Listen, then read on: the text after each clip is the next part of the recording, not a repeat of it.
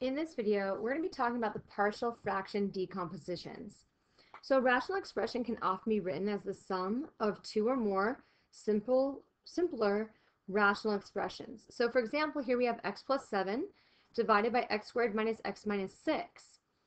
Well, this can be rewritten as 2 divided by x minus 3 plus negative 1 divided by x plus 2. So each fraction on the right side of the equation is what we call a partial fraction.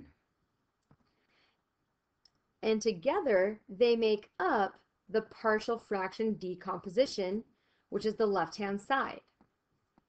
Now there are some different ways that we can have this decomposition of our n of x divided by our d of x. So our two functions and dividing them into partial fractions.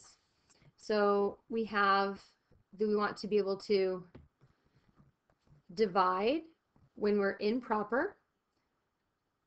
So that means the degree of your top function needs to be greater than or equal to the degree of your bottom function. And we divide the, the denominator into the numerator to obtain um, our n of x divided by d of x equals our polynomial plus n sub 1 of x divided by d of x. So there's some other steps there as well. Then we also have factoring the denominator.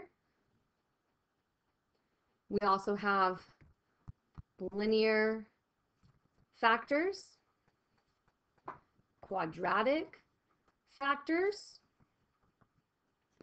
Now, one of the most important applications of partial fractions is in calculus.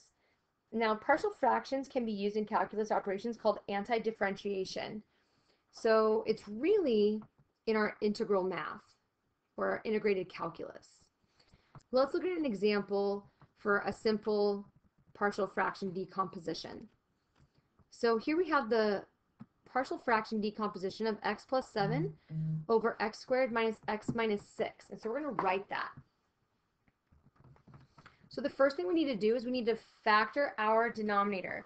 Now we're going to use a method here that isn't really shown a lot in textbooks, but it's actually a lot simpler. So we're going to factor our denominator, and that gives us x minus 3 and x plus 2. And then we're going to find the zeros. And that's something that we're going to use to help make this problem a little bit easier. So we're going to use our zero product property and set each factor equal to 0, and then solve, giving us x equals 3 and x equals negative 2. So we can now write the x plus 7 divided by x squared minus 6 breaks into x plus 7 divided by x minus 3 times x minus 2. So here's what we're going to do. We're going to take each of those factors and write them over a value, a and b, that we don't know. Then we're going to multiply to get a common denominator. So we're going to multiply our a by x plus 2 and its denominator by x plus 2.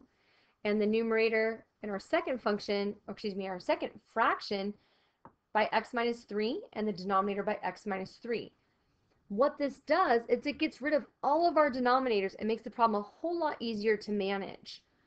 So that leaves us with x plus 7 equals a times x plus 2 plus b times x minus 3. And this is where we start to get a little simpler and do, and do this simpler method. So we're going to take these zeros and we're going to plug them in. We're going to do it one at a time. So we're going to start with this x equals 3. So everywhere I see an X, I'm going to go ahead and I'm going to put in this 3. So I have 3 plus 7 equals A times our 3 plus 2 plus our B times our 3 minus 3. And now we're going to simplify what we have. So we have 10 equals 5a plus b times 0. Now b times 0 is just going to be a 0. So really we just have 10 equals 5a. And so this is pretty easy math to see. Like what number times 5 is going to give us a 10 and it should be a 2. Now if you need to, you can definitely finish solving to get that 2 equals our a value. Now we're going to plug in our second zero. So now we're going to plug in this, this negative 2 using the same method that we just did or using the same equation. So we plug in our negative 2 to all the places that we have the x. And that gives us negative 2 plus 7 equals a times the quantity negative 2 plus 2 plus b times the quantity negative 2 minus 3. So that's going to end up giving us 5 equals a times 0 plus negative 5b. And a times 0 is going to be a 0. So really we have 5 equals negative 5b. So what number times negative 5 will give us a positive 5? Well, should be a negative 1. But we can finish solving to make sure. So divide both sides by negative 5. And we see that negative 1 is in fact b.